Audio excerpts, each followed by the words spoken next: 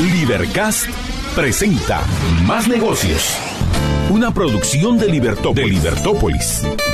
Un programa dirigido a todo emprendedor que tiene bajo su responsabilidad las decisiones diarias que afectarán su vida y la de su empresa. Para los empresarios que ahorita van a su casa y mañana llegan a la oficina. Conozca junto a María Dolores Arias, Jorge Jacobs y sus invitados especiales las herramientas más útiles para emprender, mantenerse y alcanzar el éxito en su industria. Estamos en más negocios y estamos arrancando con el programa. Gracias por estar con nosotros.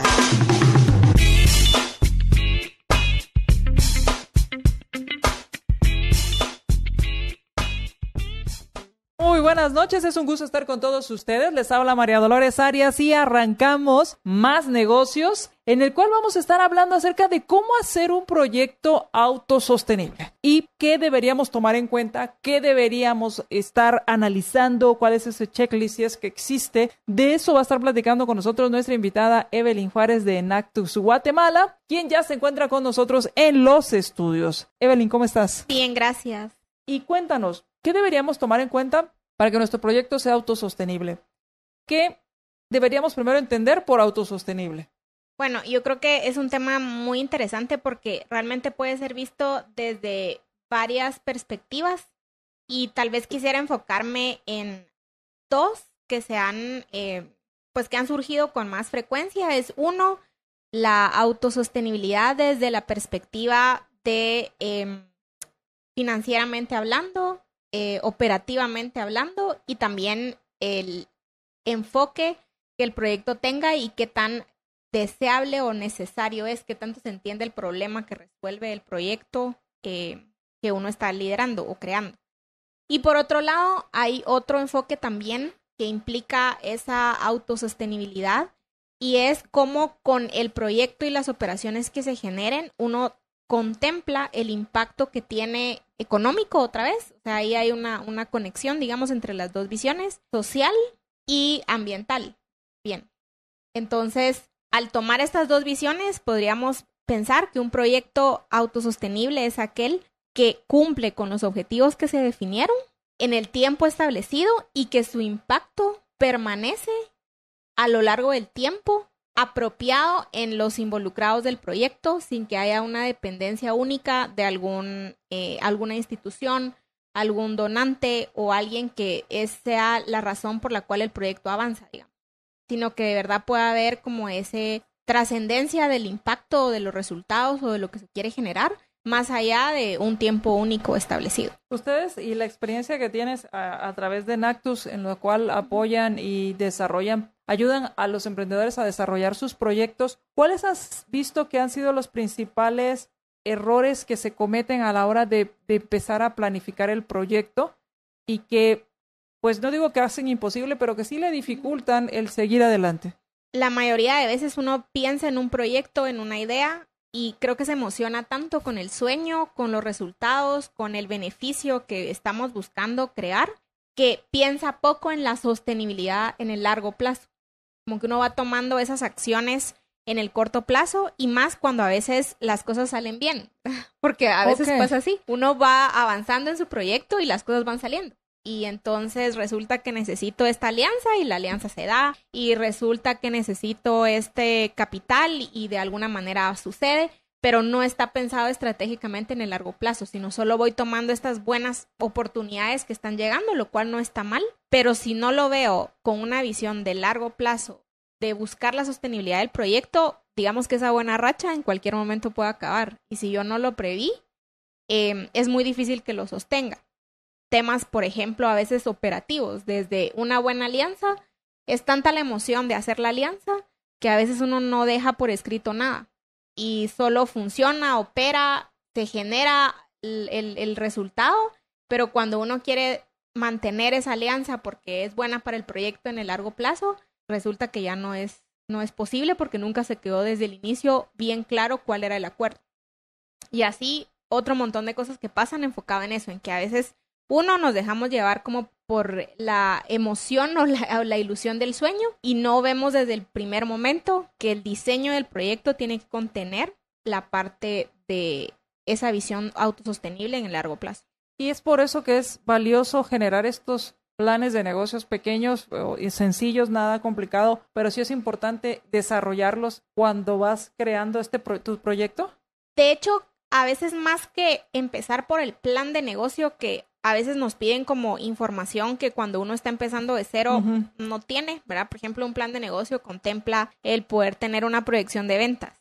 El tema es, es que nunca he vendido, o sea, estoy literalmente empezando. Estoy con mi prototipo. Ajá, ¿de dónde voy a ir a sacar ese enfoque de las proyecciones? Ah, bueno, tal vez puedo ver quienes están haciendo algo parecido a lo que yo estoy haciendo, pero tal vez un paso cero antes de llegar a ese plan de negocio incluso es poder tener claro mi modelo de negocio. Ok, que es diferente al plan de al negocios. plan de negocios. Entonces, un modelo de negocios es diferente de un plan de negocios. Entonces, lo primero que tengo que tener claro es el modelo. El modelo. El modelo de negocio, si estamos pensando en un emprendimiento, o el modelo del proyecto, si es alguna otra iniciativa que no necesariamente es enfocada en vender algún producto o servicio. Y ahí en el modelo hay tres preguntas, creo yo, que son valiosas para esa autosostenibilidad. Y es si es factible, si es viable y otra muy importante, si es deseable. Y tal vez solo el modelo de negocio en realidad resuelve un montón de cosas más y esa es su bondad, ¿verdad? Que lo hace a uno cuestionarse cosas valiosas desde qué es lo que yo estoy dando de diferente,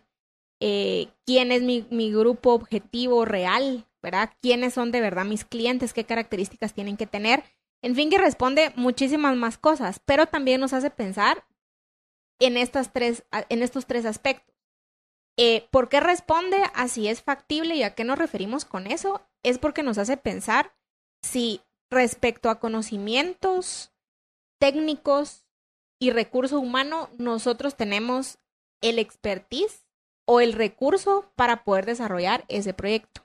Puede ser que la respuesta sea sí, lo cual está excelente porque entonces ya tenemos ahí un avance, o puede ser que la respuesta sea no. Y eso no significa que entonces yo no me tengo que meter a ese negocio porque yo no tengo el expertise sino para eso hay otro montón de posibilidades. Es el, típico caso donde uno ve, por ejemplo, a un chef que finalmente sí se lanza a poner su restaurante.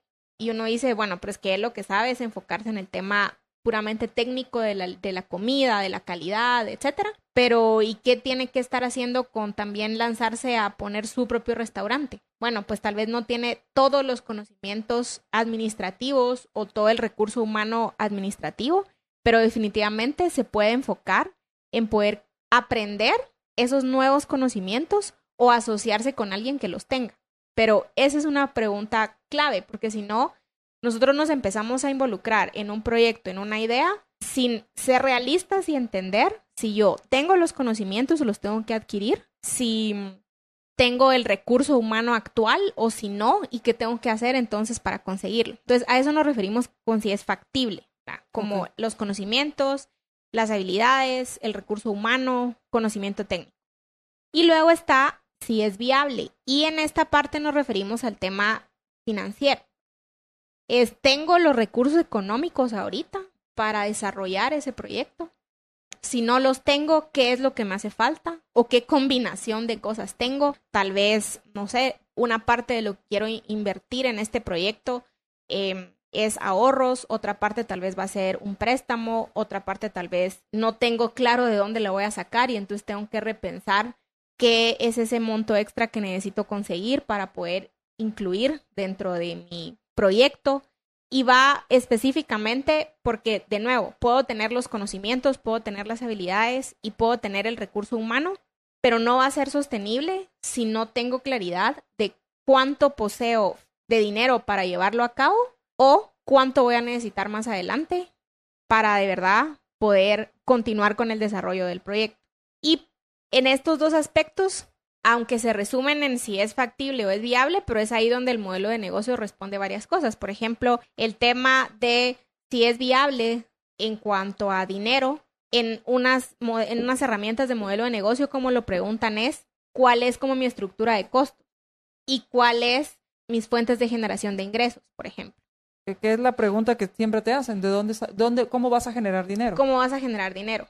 Eso es pensar en esa viabilidad, no solo lo que tengo ahorita, sino lo que voy a ir generando para que ese proyecto o ese emprendimiento continúe a lo largo del tiempo. Esa es una de las dificultades más grandes que nosotros afrontamos como emprendedores y es que así como en todas las empresas, por muy, pequeñas o muy grandes que sean, el flujo efectivo es como la sangre para el cuerpo. A veces pasa eso, o sea, no hago bien mis números y entonces tengo cubiertos algunos meses y otros no. Y en esos meses en que no, es donde a veces se hace un gran, como se afecta grandemente mi emprendimiento, cuando en realidad tal vez la idea es buena, es solo que no estoy logrando yo repensar bien cómo estoy viendo mis números, cómo estoy viendo como mi flujo efectivo, etcétera. En el caso de si es factible, ¿qué responde en el modelo de negocio cuando uno se lo plantea es qué recursos clave necesito yo para desarrollar ese proyecto? Y si los tengo o no, y si no los tengo, ¿cómo los voy a conseguir? Qué actividades clave necesito. Y esas, si lo vemos así, no estamos diciendo cuál es el listado de tareas, ¿verdad? Es las actividades clave y los recursos clave, ¿Qué es lo crucialmente importante que yo tengo que tener para hacer posible este proyecto en cuanto a personas, en cuanto a conocimientos, incluso al punto de definir bueno, necesito un local, no necesito un local, solo necesito un espacio donde pueda recibir algunos clientes o tampoco tal vez necesito eso, necesito más una página en internet o necesito un fuerte canal para redes sociales. Entonces, todas esas cosas me ayudan a entender esa factibilidad y si yo tengo los conocimientos o necesito conseguir a alguien que me ayude con ello. Estaba la parte deseable. Sí. Y en esta parte aquí, ¿qué es lo que, porque ya hablaste todo lo que lo que implicaría llevarlo a cabo, llevar a cabo el proyecto. O sea, yo se me ocurrió vender, ahora que viene la época de frío, bufandas y no sé cómo le llamarían mayones para los, para los perritos. Y entonces voy a vender bufandas, suéteres y estos mayoncitos que les tapan las, las patitas a los perritos. Y entonces empiezo a ver todo lo que tú me dijiste. Tengo el conocimiento, por ejemplo, si sé sé de patrones cómo hacerlos para poder hacer estos, esta idea. Si tengo eh, o si tengo que contratar personas, eh, cómo va a funcionar, cuánto necesito, qué tipo de equipo necesito, cómo los voy a vender, dónde los voy a vender. Y ya he, pensado en todo mi proyecto, pero falta la otra parte porque a lo mejor, pues si es factible, si conseguí, convencí a mi mamá que me dé la plata, pero también ya pensé que voy a, con esa plata aguanto tres meses y en esos tres meses tengo que haber empezado a generar ingresos porque después voy a pedir, no sé, un, a un ángel inversor o voy a hacer una alianza con... Y voy pensando que a un año logro sostener esto y de ahí ya crece el niño, por así decirlo, el emprendimiento. Pero ¿cuál es la otra parte que hace falta? Porque aquí yo estoy emocionadísima y, y creo, me imagino que te ha pasado, que conoces emprendedores que están emocionados y felices porque pues las condiciones de las que tú mencionabas pues son factibles, o sea, pueden llevar a cabo. Sí, y por eso es crucial el otro componente, si es deseable. Y pareciera lógico, porque uno dice, bueno, es que si estoy montando esto es porque yo ya vi que la gente lo necesita. O ya vi que por el clima, o ya vi que porque ahora la tendencia es que la gente tiene más cuidado por sus mascotas, entonces seguro se va a vender. El tema es, ¿es deseable? La pregunta nos lleva a pensar a qué tanta profundidad yo de verdad conozco al cliente a quien quiero llegar y no como usualmente nosotros pues hemos aprendido hace mucho, ¿verdad? Que era, bueno, basta con que me diga si es hombre o mujer, qué edad tiene, cuál es su rango salarial y mm, dónde vive. Dónde vive. Y ya con eso usted ya sabe quién ese ya es su cliente. Ahorita eso realmente nos da solo un pequeño panorama de quién es el verdadero cliente al que yo quiero llegar. Si de verdad con ese producto, ese servicio o ese proyecto que yo estoy creando no estoy yéndole a imponer algo, sino de verdad estoy dando respuesta a un problema o una necesidad que esa persona tiene.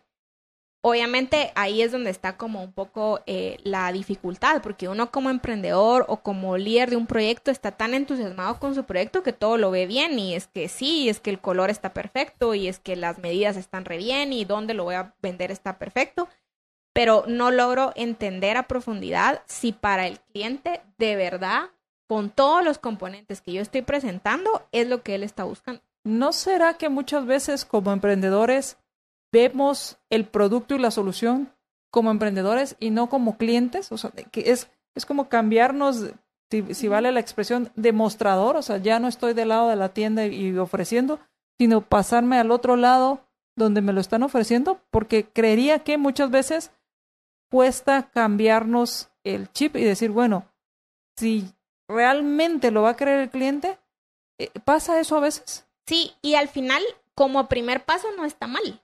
Porque muchas veces cuando un proyecto, un emprendimiento surge, surge de que eso es un problema que yo vi y que experimento en mi propia carne, ¿verdad? Entonces no está mal, pero está como un primer acercamiento. Lo que está mal es quedarme como emprendedor con esa visión que yo tengo por la experiencia que yo tuve y no empezar a abrirme a ver otras posibilidades de cómo esas mismas personas que están teniendo el mismo problema que yo ven qué necesidad tienen y sobre todo qué están buscando y cómo resolverlo. ¿Qué tanto deberías conocer al cliente y qué tantos clientes? Porque uno diría, bueno, estamos hablando de muchos, pocos, o sea, ¿qué tanto lo debería conocer cuando hablas de qué tanto conozco al consumidor? Actualmente ayuda mucho a ver más que solo sus características demográficas y demás, sus hábitos, cómo interactúa. Por unas cosas de, de Nactus, justo tuvimos la oportunidad de visitar Google y a mí me impresionó mucho cómo al entrar a una de las tiendas que está en la oficina de Google a nivel mundial,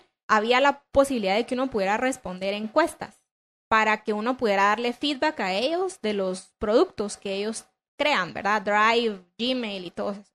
Lo que me llamó la atención es que cuando yo vi una encuesta al principio, ¿verdad? Con paradigmas, dije, a la Google haciendo una encuesta para entender a sus clientes.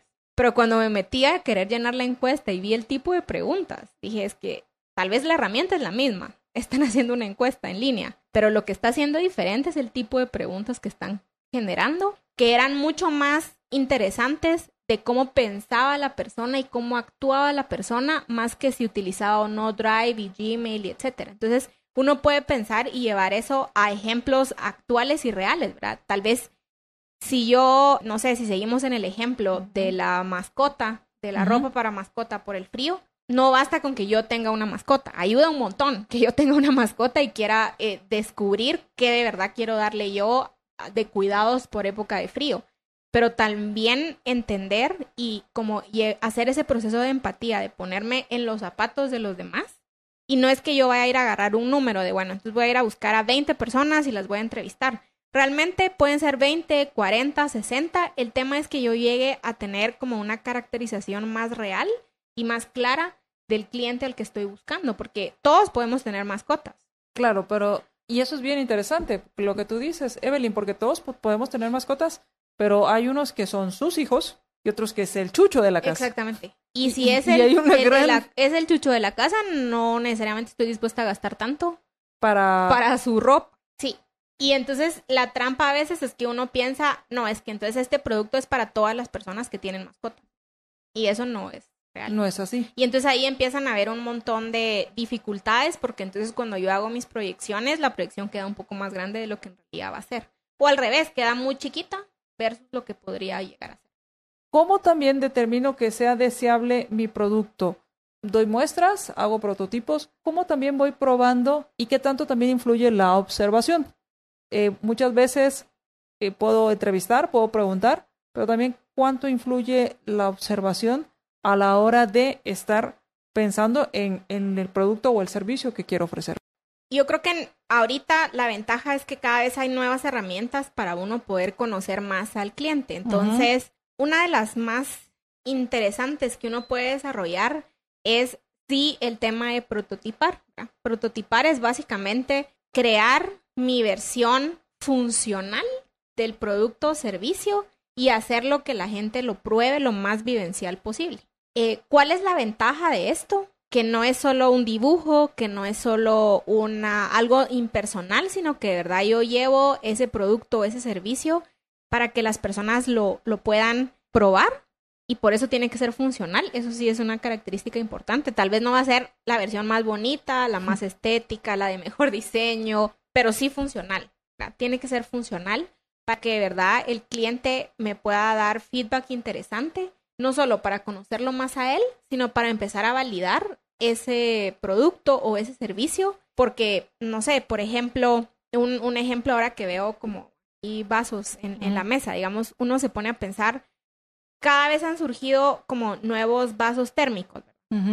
Una de las grandes como comportamientos que uno ve en los consumidores es que uno tiende a llevarlo siempre en el carro. Entonces, el hecho de que sea un vaso térmico que tal vez sí dure más el líquido caliente o que lo mantenga más tiempo frío, etcétera, pero tal vez no en cuanto a la dimensión, no cabe dentro del área donde uno lo pone en el carro, por ejemplo.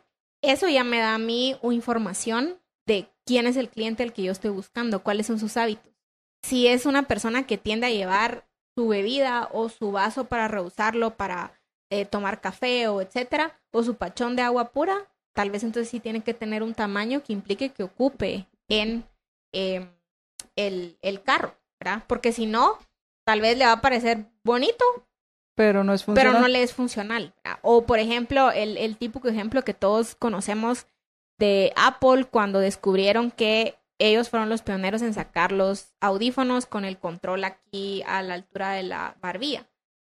¿Por qué? Porque lo que vieron por observación en el consumidor es que era incómodo tener que sacar el teléfono para poder cambiar la música o para poder subir el volumen o para poder bajar el volumen. Y entonces ahí descubrieron una necesidad. Ah, ¿qué pasa si mejor en lugar de que haya que sacar el teléfono, ponemos el control a cierta altura que tampoco se enrede dentro de las cosas que uno normalmente tiene para que no haya necesidad de sacar el teléfono para subir el volumen, bajar el volumen, cambiar de pista, etcétera. Entonces son como pequeños, bueno, pequeños y no, porque realmente hay que hacerlo bien pensado, ya sea un proceso de observación o un proceso de prototipeo, que dan esa información que me ayuda a entender cómo el cliente está viendo mi producto y a descubrir mejor si ese es el cliente al que yo le estoy apuntalando. Y aquí viene la pregunta del millón, que no sé si te la harán todos los emprendedores a los con los que ustedes trabajan, Evelyn, es ¿y cuánto cobro? O estoy cobrando, voy a, me van a comprar el producto o el servicio a este precio. Sí, y de hecho creo que esa es una de los de las partes que a mí más me gusta explicar, porque siempre pregunto, ¿cómo definir el precio? entonces, normalmente las respuestas siempre son, ah, entonces voy a sumar todos mis costos. Ajá. Y después de sumar todos mis costos, entonces voy a definir cuánto yo quiero ganar. ¿Qué margen quiero? Y entonces le pongo eso y ya, ahí está el precio. estuvo, ya lo hicimos. Entonces, ya nos vamos. me, me gusta esa parte porque siempre hay esas respuestas y en realidad es, sí está bien, yo veo mis costos. Es muy importante. Sí, está bien considerar cuánto es el margen que yo quiero ganar, pero el problema es qué pasa si tomando en cuenta esos costos y ese margen que yo quiero ganar, el precio queda fuera del precio que el consumidor está dispuesto a pagar. Por eso necesito conocer bien a mi consumidor, porque ni quiero quedar abajo de lo que está dispuesto a pagar, ni arriba de tal manera que nadie me compre. No me acuerdo quién, pero no sé si es en un libro o en alguna conferencia o algo escuché que alguien dijo, un negocio no es negocio hasta la primera venta. Claro. Porque ahí es donde de verdad se comprueba que alguien está dispuesto a comprar y a dar su dinero por eso que yo estoy dando a cambio hay que considerar, si debes conocer tu estructura, o sea, tu costo, cuánto te cuesta hacer cada producto o servicio. Y a veces, tal vez en los servicios es donde a veces hay más dificultades para establecer el costo, pero hay que conocerlo. También es conocer y considerar el margen que te gustaría tener y esto también contrastarlo con el mercado. Otra pregunta, me imagino que también ha pasado y no sé si es tan común, Evelyn, es nadie hace lo que yo estoy haciendo y no hay sustituto. O sea, e, es el mundo ideal, nadie lo hace y no hay sustituto. Y entonces uno cree que puede poner cualquier precio. Y no toma en cuenta que en el mercado hay soluciones, pues si no iguales, hay sustitutos. Sí, y a veces si no son directamente sustitutos, de todas formas, otra vez, el consumidor tiene un tope y tiene ciertas formas de considerar a qué está dispuesto o no, aunque yo pueda ser el único que lo ofrezca. Por eso es importante considerar del lado del cliente cómo se ve ese precio. En ese prototipado que, que estábamos hablando y en esa observación, ¿es válido entonces preguntar márgenes de precios? ¿Cuánto estarías dispuesto a pagar y poner márgenes? Así es. Que al final, como tú decías en, en, la entrevista, era, bueno, estos son deseos. Hasta que sacan el dinero y te lo dan, ahí hay una venta. Y ahí entra un tema muy importante y es y está bien, uno como emprendedor, por tener recursos limitados, siempre va a buscar ese feedback del prototipo con sus amigos, su familia y demás. Y está bien, pero no es como el mejor perfil, porque obviamente ahí hay un componente de, de cariño, de, de ganas de echarnos porras a decir, ala, no, esto está genial, yo pagaría tanto, pero también es ir a ver de verdad quién es ese cliente externo que yo estoy buscando para entender cuánto estaría dispuesto a pagar. Y ahí viene una pregunta que algunas veces han hecho es, ¿y qué pasa si descubro que están dispuestos a pagar menos del número que a mí me quedó haciendo mis costos y mi margen de ganancia? Tal vez la respuesta es un poco como dura y difícil, pero es, entonces tal vez no soy yo la persona que en este momento puede lanzar ese producto o ese servicio. Que si lo lanzo, aún así, estoy como lanzándome a, a, una muerte anunciada. O reviso mis costos, reviso mis márgenes, reviso mi modelo de negocio a ver si hay otra forma en que mis ingresos se equiparen, tal vez alguna fuente extra, digamos. Eh, no sé, pensemos en una... Eh, en, en, un centro como de, de... para fiestas infantiles, por ejemplo. Tal vez yo estoy pensando solo en, el, en lo que voy a generar de ingresos con el alquiler, con el alquiler del mobiliario. Bueno, tal vez qué pasa si yo con eso no llego a, a, lo que yo necesito cubrir o a lo que en ese momento eh, puedo yo a través de costos y margen de ganancias. Tal vez puedo empezar a identificar otras fuentes de ingresos, como por ejemplo, bueno, tal vez si yo ya voy a tener esa estructura, tal vez entonces es muy básico, pues, pero tal vez ese mobiliario ya no solo lo rento dentro de mi salón, sino lo puedo rentar en otros eventos a domicilio. Yo ya había pensado en vender poporopos y vender O puedo agregar la parte del el catering de la fiesta. O puedo agregar otras cosas que me ayuden a que tal vez no voy a poner un precio más alto, sino estoy diversificando mis, servicios o mis productos para que los ingresos puedan venir de diferentes lados. Claro. Pues muchísimas gracias, Evelyn. Gracias a usted. Que tengas una excelente, una excelente noche y gracias por haber estado con nosotros. Gracias. Libercast presentó Más negocios. Recuerden que si quieren conocer más de nuestros programas, seguirnos en las diferentes redes sociales o si quieren ver nuestros programas y conocer a nuestros conductores e invitados, pueden ingresar en www.libertopolis.com. Recuerda suscribirte y dejarnos 5 estrellas para que continuemos trabajando en producir más podcasts de tu interés. Libertópolis, ideas con valor.